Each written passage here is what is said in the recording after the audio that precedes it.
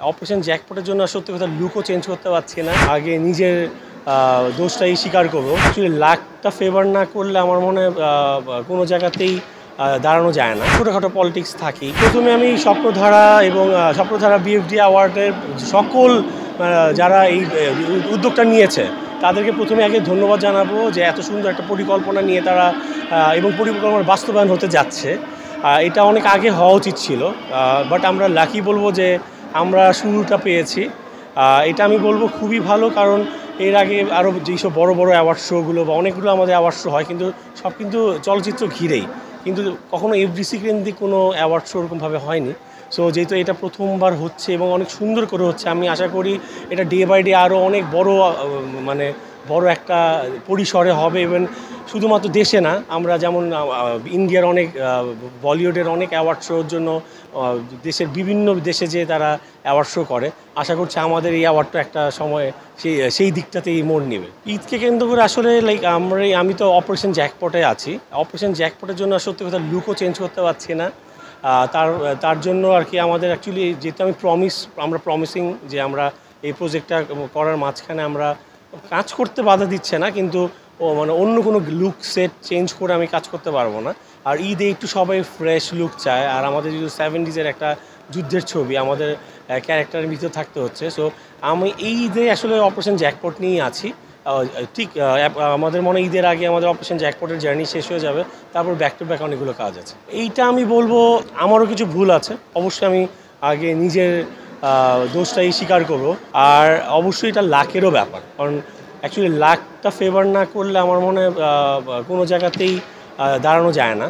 আমি অনেক অপশন পেয়েছি, আমার লাক হয়তো ফেভার করেনি, আবার আমি হয়তো বা সিরিয়াস ছিলাম না। আর তারপরেও তো ছোটোখাটো পলিটিক্স থাকি যেটা বলব আমি বলব না পলিটিক্সের শিকার। আসলে আমাদের চলচ্চিত্রটাই মনে হয় এরকম একটা নিয়মের ভিতরে বাধা। সো সব মিললে হয়তো আমি সেইভাবে দাঁড়াতে পারিনি বাট আই এম হ্যাপি না, ছবি এসছে। বললাম না, আমারই দোষ, কারণ আমার, আমি ইউটিসি যখন ঢুকি তখন থেকে আমাকে একটা কথা সবাই বলে যে আমার নাকি না খোঁচা। আমি জানি না কেন। বিকজ অফ আমার জ্যাজে যখন আমি ছিলাম, জ্যাজে আমার ব্যাক টু ব্যাক অনেক বড় বড় ছবি করার কথা ছিল। কারণ কিন্তু আমাকে অনেক লম্বা একটা মানে কমিটমেন্ট দিতে বলেছিল যে টেন ইয়ার্সের একটা কন্ট্যাক্ট আমি আসলে টেন ইয়ার্সের কন্ট্যাক্টে যাইনি। যার জন্য আমি জ্যাজ থেকে বেরিয়ে যাই।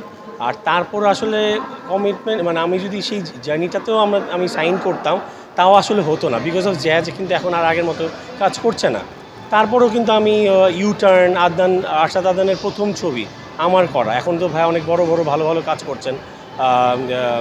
রাজকুমার বা প্রিয়তমার মতো ছবির প্রডিউসার কিন্তু আমার আমি তার ছবির প্রডিউসার মানে ইউটার্ন কাজ করেছি। হয়তোবা তাদের সাথে আরও কাজ হবে, ইনশাল্লাহ।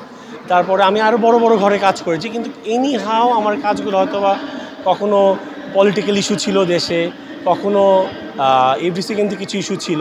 কোনো কারণে আমার যে ছবিগুলো যখন রিলিজ হয়েছে ক্লিক করেনি। এটা ইজ মাই ব্যাড লাগ আদনান ভাইয়ের সাথে আমার সবসময় খুব সুইট একটা সম্পর্ক। বড় মানে আদনান ভাই আমাদের গার্ডিয়ান বড় ভাইয়ের মতো, খুব আদর করে, ভালোবাসে। বাট হ্যাঁ কাজ নিয়ে আমি কখনোই, আজ পর্যন্ত কখনোই কাজ কাজ নিয়ে কারোর কাছে আমি রিকোয়েস্ট করি না। বাট আমি মনে করব, আমি যদি কোনো চরিত্রের জন্য পারফেক্ট হই, কোনো প্রজেক্টের জন্য পারফেক্ট হই, আমার বলতে হবে না। আমার ভাই আমাকে নিজেই টেনে নেবে। আমার পাঁচটা ছবি কিন্তু অলরেডি একদম পাইপলাইন রেডি হয়ে আছে। প্রডিউসার ডিরেক্টররা কেন রিলিজ দিচ্ছেন আই ডোন্ট নো নামগুলো তো আছে, যেমন সুজুকি নীল ফোরিং ফেসবুক তারপর ভালোবাসার প্রজাপতি এরকম আরও আমার পাঁচ, ছটা ছবি পাইপলাইনে আছে। ওগুলো রিলিজ হবে, ওটার জন্য ব্যস্ততা আছে। আর অপারেশন জ্যাকপটের পর আমার একটা ফিল্মের কথা চলছে, সেটা অনুদানের ছবি। আমি নাম এই মুহূর্তে বলব না ডিরেক্টরের নামও বলব না সব কিছু আমি সামনেই ই করব।